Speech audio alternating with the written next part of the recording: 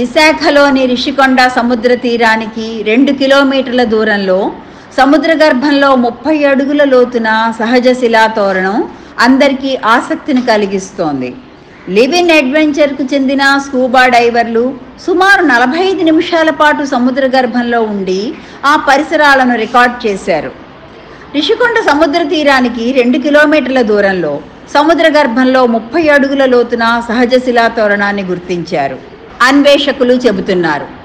విశాఖకు చెందిన లివిన్ అడ్వెంచర్కి చెందిన స్కూబా డైవర్లు సముద్ర గర్భంలో తరచూ కొత్త ప్రాంతాల అన్వేషణ చేస్తూ ఉంటారు. ఇందులో భాగంగా నిర్వాహకులు బలరాం నాయుడితో కూడిన నలుగురి బృందం గతంలో ఎప్పుడూ చూడని శిలలతో కూడిన తోరణం లాంటి ఆకారాన్ని గుర్తించింది. అయితే సుమారు నలభై ఐదు నిమిషాల పాటు సముద్ర గర్భంలో ఉండి ఆ పరిసరాలను రికార్డ్ చేశారు. ఇది ప్రస్తుతం విశాఖలోని మంగమారిపేట సముద్ర తీరంలోని శిలాతోరణాన్ని పోలి ఉందని చెబుతున్నారు. కొన్ని వేల సంవత్సరాలు సముద్రంలోని కొండ అలల తాకిడికి అలా మారి ఉంటుందని బృంద సభ్యులు అభిప్రాయపడుతున్నారు. ఇలా శిలాతోరణం చూసిన వెంటనే చాలా సంతోషం అనిపించిందంటున్నారు.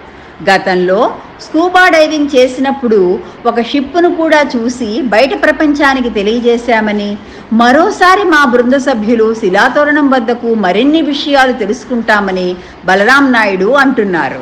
డైవింగ్ ఎక్స్ప్లోరేషన్ రుషికొండలో రుషికొండ బీచ్లో చేసాం ఆ ఎక్స్ప్లోరేషన్లో పెద్ద శిలాతోరణం కనిపించింది. శిలాతోరణమే కాకుండా ఇంకా పెద్ద రీఫ్ కొండలు కింద ఉన్నట్లు మేము కనుక్కున్నాం. ఈ శిలాతోరణం వీడియోగ్రఫీ చేసాం మా సభ్యులందరూ నలుగురు వెళ్ళి మొత్తం అంతా షూట్ చేసాం అండ్ ఈ శిలాతోరణం స్పెషల్ ఏంటంటే నేచురల్గా ఫామ్ అయింది. అండ్ తొట్లకొండలో ఉన్న శిలాతోరణం సర్ఫేస్లో ఉంది. ఇది అండర్ వాటర్లో ఉంది కాబట్టి మేము నెక్స్ట్ రాబోయే స్కూబా డైవింగ్స్లో ఇది టూరిస్ట్ కూడా అవైల్ చేస్తాం.